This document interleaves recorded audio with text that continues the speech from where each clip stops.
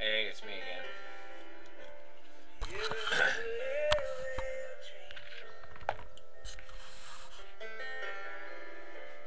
I've been seriously goofy for all my videos, and uh, I'm, I'm going to be goofy again.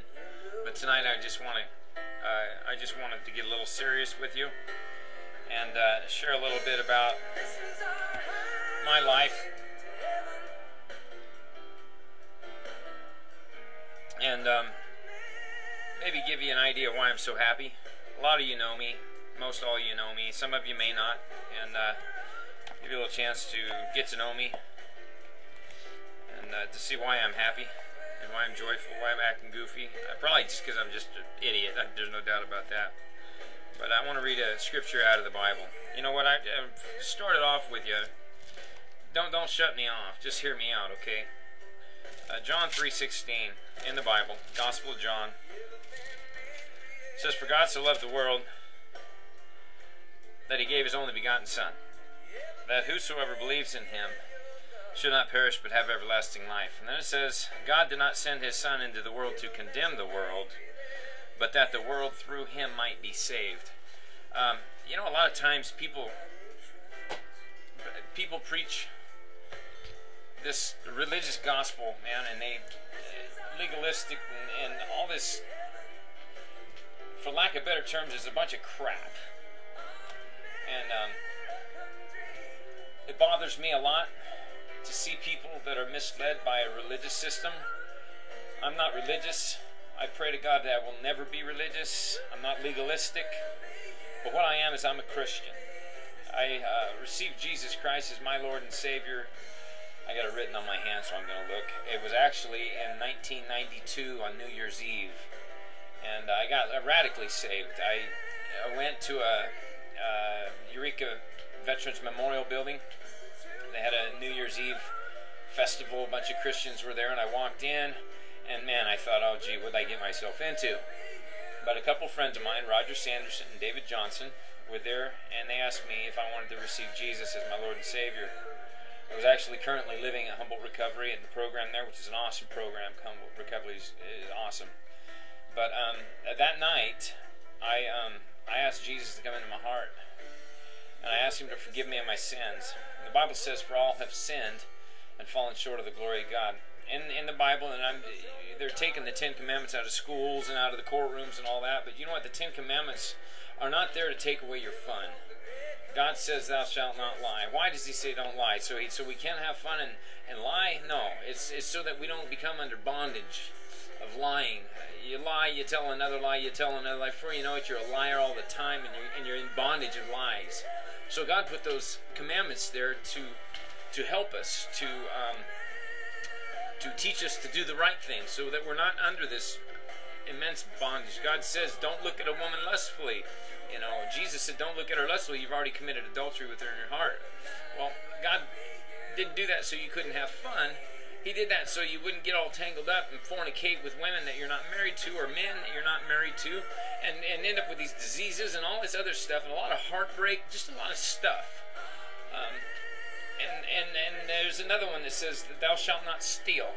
Well, you know, hey, I'm telling you what, I was the chief of thieves in Fortuna. I was arrested for thieving I was the worst thief, you know, um, and I got away with it for a long time. But God didn't say don't steal because He wanted to take away your fun. He told you don't steal so you don't become under the bondage of being a thief. Lose your life. Back in those days, you steal something to kill you. You know, you get stoned. And I'm not talking about weed. I'm talking about rocks. They stone you to death. Um, so the night I got saved, I got lit, literally lit. It was a, I was the highest high I've ever had been in my life, and I went and got my wife and asked her to come to Jesus, you know, and she she prayed and asked God to forgive her of her sins, and she got saved as well. That's what being saved is. It's uh, uh, repenting from your sins, asking God to forgive you for being a liar, a thief, adulterer, whatever it is that you've done in your life or continue to do. Um, that's that's what that's all about. My wife got saved that night. It wasn't long after that that we um, we prayed and asked God uh, to get us into a home or something like that. We qualified for a loan. We built a brand spanking new three bedroom home in Fortuna on uh, Murray Court in Campton Heights, across from Toddy Thomas School. Uh, lived there, and, and it was a blessing from God. I had three children Ryan, Josh, and Katie. And uh, our life was just perfect. We were going to church, just loving God, man. And uh, I was just full of full of Spirit of God. I was almost too much. Well, I was too much. You know, puking Jesus all over everybody. I become obnoxious many times. But I was working at the sawmill and I ended up with a back injury, my neck, uh, injury in my neck. Started taking Vicodin for pain. You know, old dope fiend that I was. Um, started uh, taking too many, knowing I was taking too many. Well, long story short, I ended up getting arrested for manufacturing methamphetamines in my garage of our brand new home. My kids were being neglected. Um, uh, my wife went to jail. I went to jail. My kids went to child welfare in, in the system. Luckily, my sister-in-law worked for uh, the welfare. She still does, as a social worker, and they landed with her, so she ended up getting an apartment, taking my children.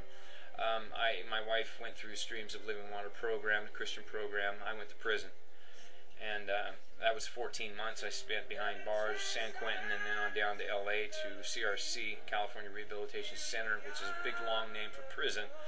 And, uh, and it was rough. It, I have to admit that it was really rough.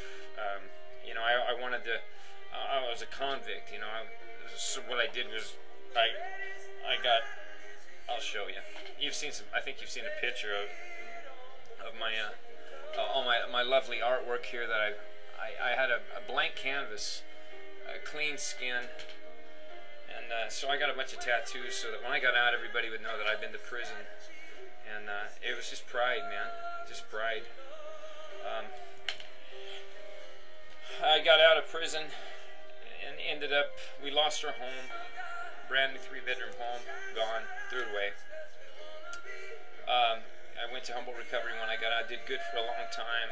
Um, started lifting weights. I got all buff, you know, and, and it's just pride, man. I was just walking in pride. It wasn't long before I was back into drugs. I got my wife back into drugs. I committed a burglary, and uh, I went to jail. I bailed out of jail, and then I committed another burglary when I was on probation for a burglary. So I had a double whammy there, two burglaries, violation of probation. Ended up, you know, back in jail, looking at six years penitentiary, and um, I went to, uh, it was about 3.30 in the morning, and, and God was just, because I'd been lying when I was in there saying, you guys got the wrong guy, and I, I made this, fabricated this way cool story that they got the wrong person, that I'm innocent, you know. Just a typical penitentiary. You know, I, I deny it all the way to the end, but you know what? God spoke to my heart one night, well, early, early in the morning, about 3 in the morning, and uh, and he just he just whispered into my heart, Bryan, the truth will set you free. And, uh, you know, I knew I was going back to prison, and they weren't coming off of six years. So what I did was I couldn't handle it anymore. I couldn't lie. Um, I had to come come clean. So I went to the correctional officer that was inside the dorm, and I just walked to him and said, I did it. He looked at me and said, You did what? I said, I did the crime. I'm guilty. I committed the burglary. You have the right guy. And I turned around, and it was like, you know, a million pounds was taken off my back when I did that. I felt so good after that, you know. Even though I knew I was going to prison, I just said, Lord, I'm, I'm yours. And I'm sorry for sinning against you, Lord. I repent. My life is yours. I know I'm going to prison, but God, I'm going to serve you wherever I go, no matter what I do. I'm going to give my life to you. I'm yours. And, um, you know, it was about two weeks after that I went back to court. And when I walked into the courtroom, all shackled up in orange with handcuffs and all that, my lawyer walked up to me. And he had his he was looking at this paperwork and he just shook his head. And he looked at me and he said I, I can't explain this. And I said what? He said they're offering you probation. And I just fell apart right there. And the bailiff came walking over with a handful of Kleenex and uh, snot dripping from my nose. You've seen my snot anyway I was just I was just uh, I couldn't believe it and um, it wasn't long before I was cut loose from jail, out on probation, and uh, by law they had to send me to prison. But I, you know, the, God moved in the heart of the judge. He moved in the heart of the district attorney, Paul Gallegos, and um, I, uh, I just it amazed me. And, and the funny thing is, is when I got out, they didn't require me to do any kind of drug treatment program. And, uh, and I knew that was a setup. I knew right away. So I told my probation officer, I need a program. I want a Christian program. So I ended up at the Eureka Rescue Mission. I thought it was a program uptown in a house that was owned by the Eureka Rescue Mission, you know, carpet floors and stuff like that. But that wasn't the case. I ended up actually at the mission on 2nd Street uh, my first two weeks in the program, they actually put me in the dormitory upstairs with 30 other uh, people off the street, homeless people, and um, I didn't want to touch anything. I certainly wouldn't take my shoes off in the facility. No way I'm going to take my shoes off in the shower. I didn't want to touch anybody. You know, I just uh, want to do my program. There was no program room beds open, so they had to put me in the dorm. Um, and a few days after being there in the dorm with those people, um, God touched my heart in a powerful way. And I just literally fell in love with those people. I found that there are just gold mines of stories and, and just broken lives, man. Broken lives, like mine was. I had a broken life, but you know, I got restored. God, by the power of His Holy Ghost, restored my heart. He took out a heart of stone and he put that heart of flesh back in me. He, he put clean water on me and, and cleansed my heart. He, he purified my mind. I no longer thought like I used to think. I, I didn't have that criminal mindset anymore. And I got to go to the program downstairs in the chapel in the daytime. We had classes from 8.30 in the morning till 11.30 uh, in the afternoon. And my first class, I can remember the chaplain at the time. I was sitting in there in, in my first class, and the chaplain stood up in front of the class there, and he opened up his Bible, and he started to preach and teach the Word of God. And I just started crying like a baby sitting there because I was so grateful that I'd finally gotten uh, a Christian program a year long. And God blessed me beyond measure beyond measure. I can't even express to you how much He has blessed me. But what I can do is I give you testimony of what God can do for you if you repent of your sins and give your heart to Jesus Christ. I'm not talking some religious churchianity Jesus. I'm talking the real deal, man. I'm talking real God, real life, uh, real changed life. And it means that you got to repent from your sins. That means if you've ever told a lie, you've broken God's holy law. And you need to be forgiven of that. You need to repent of that. If God were to judge you on Judgment Day and you were to stand before Him, what would you tell Him? What would you tell Him? If He judged you by His holy commandments, would you be guilty or innocent if you were uh, a liar or a thief? You'd be guilty. And the wages of sin, the Bible says, is death. But the next verse says, the gift of God. You can't earn it. You can't buy it. You can't serve enough people to gain it. You just receive it. Jesus Christ did all the work. He hung on that cross in your place and in my place. He paid the penalty for everything you ever did wrong, for everything I ever did wrong, and for the rest of the people in this world. But not everybody's going to receive Him or choose Him uh, and, and, and give their hearts to Him. He became a curse, and God poured His wrath out on Jesus, who never sinned. He was spotless, pure, He never did a thing wrong, and He showed us how to live. He could have just zipped up out of this world without going to the cross and say, hey, I did it. Now it's up to you guys. But he didn't do that. He took it all the way to the cross. But it didn't end there. He stayed dead for three days. But he was down in the bowels of the earth, the Bible says, setting the captives free. And then he rose again.